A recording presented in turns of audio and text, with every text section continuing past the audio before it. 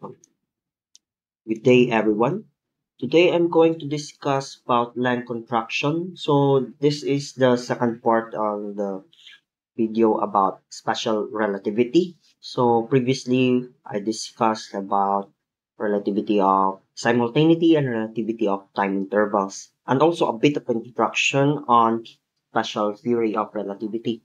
So as you have noticed, there was this uh, an explanation or an attempt to explain the transformation, which is what we call the Lorentz transformation, which is occurring in the coordinate systems of the celestial bodies. So one attempt to explain that is this length contraction. But during those times, um, the explanation of Lorentz contraction is that if an object moves, so for example, this one, so it moves to the right, then it contracts because due to the force. So uh, the problem with this one is they say that it is in atomic level and even in the subatomic level. So the atoms are being compressed. And as we all know, this shouldn't be since the radius of atom cannot be affected by the motion. And so due to this, it is hard to prove and hard to disprove during those time because of the limitations of the measuring devices.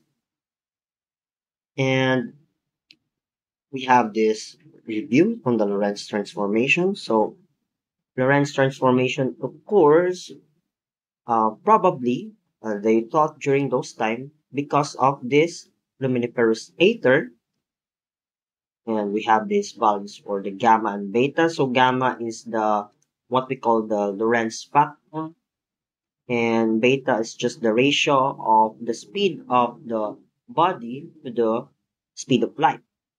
And the alternative explanation to the Lorentz transformation, the line contraction.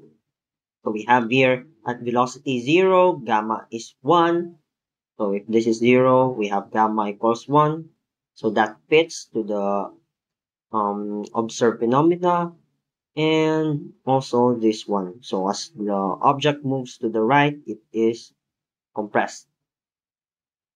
And for example, to have a concrete idea on the Lorentz transformation, consider a dog that can live in the outer space, which is moving. Uh, these things are moving in relativistic speed. So we have relativistic dog, relativistic bus, relativistic Tyrannosaurus Rex, and this one is quite um, techy, relativistic spaceship, and for example, a star moving at velocity that is fairly near at the speed of light. So if it moves, we observe that it is contracted. Hence, we have the Lorentz transformation of the coordinates. So, another review is we know that from the Maxwell's equation in a vacuum, uh, considering that the space is a vacuum, um, we have the speed of the electromagnetic wave propagation at c, which is 299.792.458 meters per second. And the relativity principle for example, if we have a spaceship shooting lasers at the speed of light, so according to the Galilean transformation, it will exceed c, but the Maxwell equations forbid this, so we rewrote all of those stuff, and we arrive at the expression for the relativity of time intervals. Now, what about the measurement on the space or length? Consider here we have a volunteer. His name is Pepe the Frog. Um, for example, Pepe is standing still. Its body length is L naught. So we have here a mirror. And from the bottom or from the tip of Pepe, we um, we shoot a light beam. So it propagated from here to here. Uh, of course, this is very fast, but for the sake of um, visualization, we'll just move it from here to here to the mirror and it goes back. So the time interval should be the same from here to here since it is not moving and it should be twice the length of Pepe. So the distance traveled from here to here is just the same. So we multiply it by 2 and it is the the whole trip is delta t naught. Uh, a review from the kinematics. So it's just delta t naught is 2 L naught over c or the distance over the speed of the propagation. Now, if Pepe runs at relativistic speed, what will happen? So let us examine this. First, of course, Pepe will have traveled this distance at some delta t sub 1. For example, after 5 seconds, of course, Pepe will cover this distance time multiplied by the speed of Pepe. Uh, take note, this is a relativistic speed, so it is very fast. Pepe is running very fast.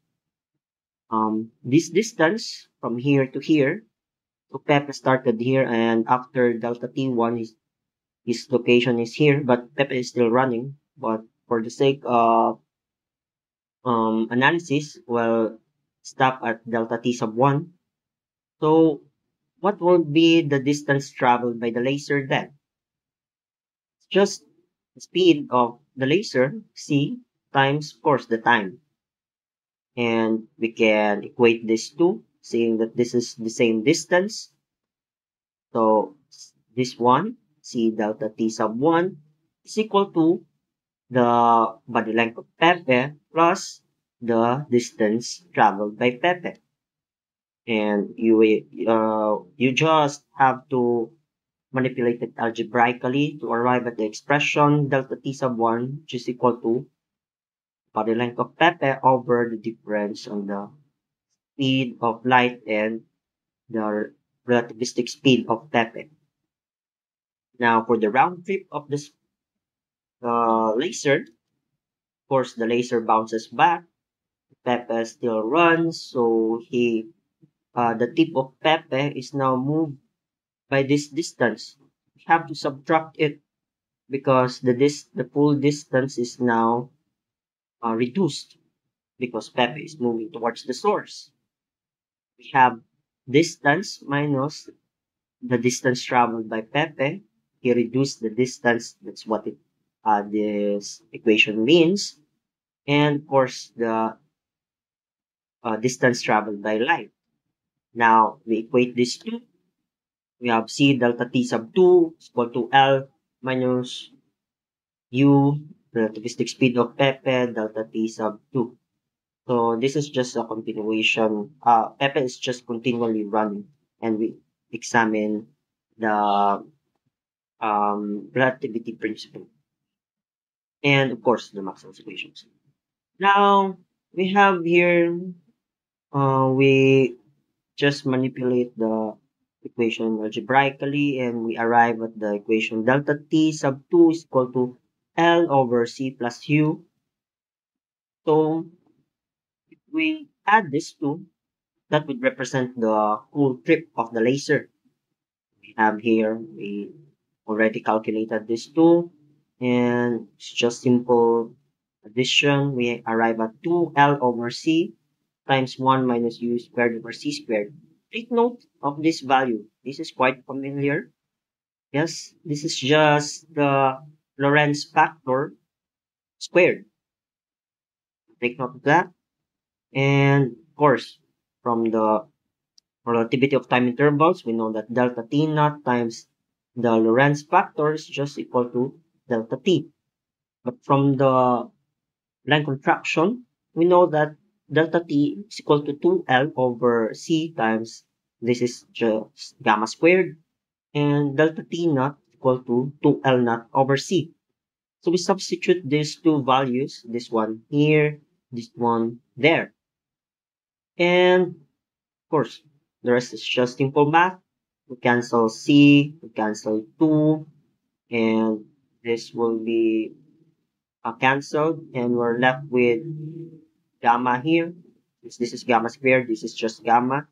And we have an expression for the length of contraction. So all we needed was just the combination of relativity principle and Maxwell's equation to arrive at the explanation for the line contraction.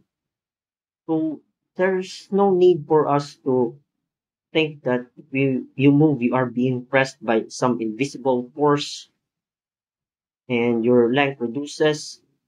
Because if you think about it, if you are indeed being pushed back, then if you stop, then the flattening of your face should be um should be visible.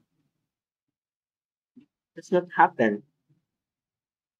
So the logical conclusion here is that due to the nature of the electromagnetic waves, or or if I say as a it's just that the wave contraction is the result of Maxwell's um, equations and the relativity principle. And combine that, we have special theory of relativity. Now, let's proceed with an example. Ah, I think it, we also have to revisit Pepe. So Pepe here, he wants to um, include himself. Pepe stationary versus Pepe running. That would mean that he is contracted by factor of gamma. Now, we go back to our examples. Um, let's single out this Tyrannosaurus rex. So approximately the Tyrannosaurus rex was reduced to a length of half of its, of its original size. So we have here L naught over L would be 2. And we have here, we're left with the Lorentz factor on the right hand side. Then square both sides. After, uh, I, I think you have to multiply by gamma uh, I think 1 over gamma for both sides. And then you square here. And we're left with, ah, sorry, this should be the square root already of u. So you have to move by 0.87 the speed of light in order for your length to be contracted by, uh, I think, by 2. So that's how fast this Tyrannosaurus Rex is. Uh, almost the speed of light. So if uh, Tyrannosaurus Rex is standing still and you measure it by 4 meters and it runs and you observe that it is now 2 meters, then that means that that Tyrannosaurus Rex is running at the speed of 0.87 the speed of light. So you multiply 0.87 by 299792458 meters per second. That's very fast. That's a very fast Tyrannosaurus Rex. And I think that would be all. Uh, thank you for listening and thank you.